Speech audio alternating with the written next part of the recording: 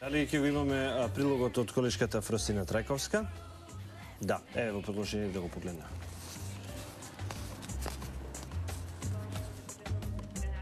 По повод одбележувањето на 3 декември, меѓународниот ден на лицата со инвалидитет, на филозофскиот факултет се одржа свечано за одбележување на овој голем ден за сите лица со специјални потреби.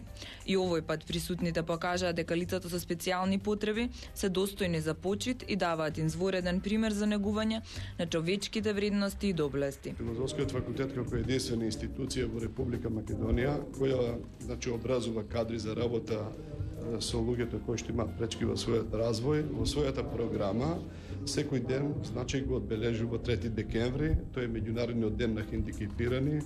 Ние сме убедени дека местото на прославата на овој празник покри на другите места е и кај нас, затоа што во принцип се почнува со човечките кадри, ние сме тие кои ги оспособуваме и денеска може да се рече дека во Македонија не постои институција специјални заводи и така натаму, каде што клучни луѓе не се дефектолозите кои што ги произведуваме на филозофскиот факултет.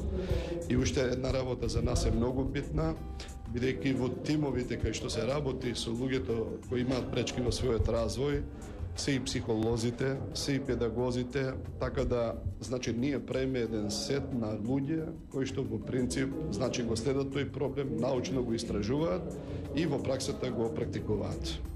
Меѓу присутните гости беше и познатиот македонски сликар и хуманист Живко Поповски Цветин, кој овој пат црташе за децата со посебни потреби на тема Цвеќето на мирот и љубовта за децата.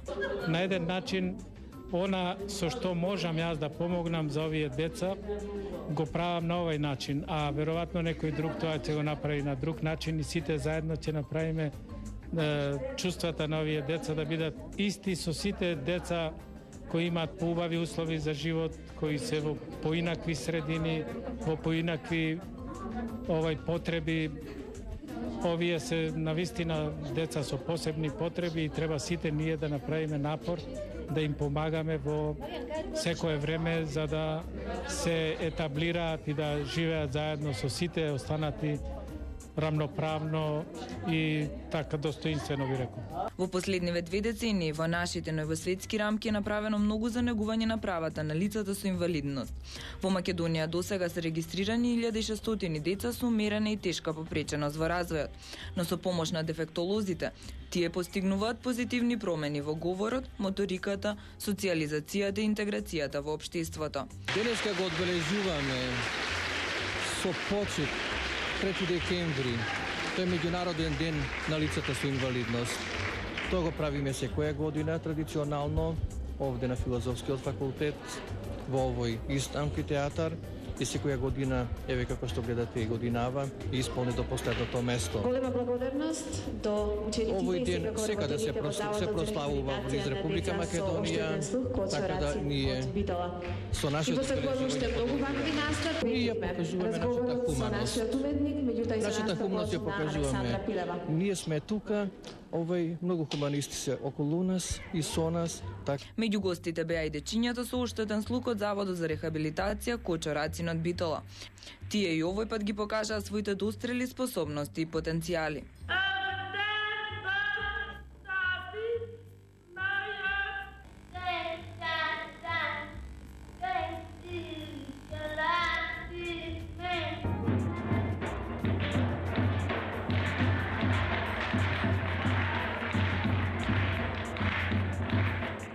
Во пресред на денот на лицата со инвалидност 3 декември, останува отворено прашањето. Дали решително ќе им подадеме рака на оние чии фантазии и соништа за среќен живот се малку поразлични од нашите?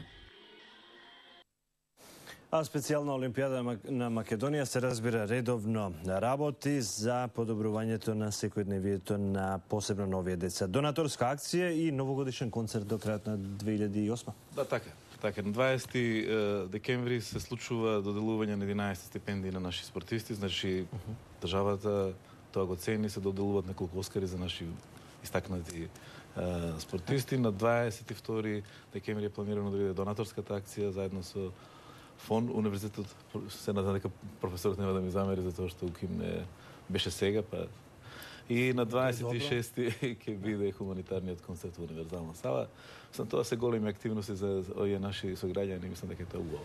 Сека чест, успех со Благодарам. проектите и со акцијата и со новогодишниот концерт, а господинот Петров верувам со долгогодишното искуство, на ангажманите на овој план ќе има што да препорачи или пак да каже на во која насока да се движат активностите на сите оние кои што се вклучени во овој процес на подобрувањето на условите на За да кажеме во која насока да се движат работите ни треба многу време и затоа само ќе препорачам во случај. Во 30 секунди. Да, во рамките на 30 секунди.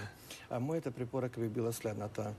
Да престанеме, бидејќи деновиве по мејл добивавме различни пораки, кружија, мислења, ставови од Полио Плюс и од други овај ор- невладини организации.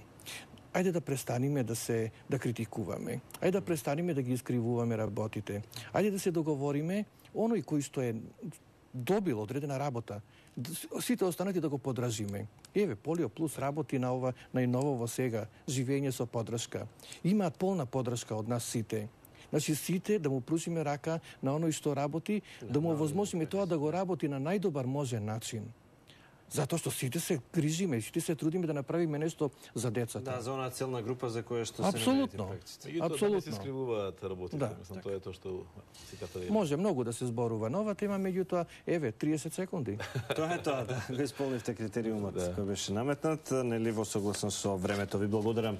Ви благодарам што бевте дел од рано ден, господинот Огнен Стаматовски, извршен директор на специјална олимпијада на Македонија и професор Ристо Петров од Институтот за дефектологија при Универзитетот Кирил и Методи. Поздрав до вас.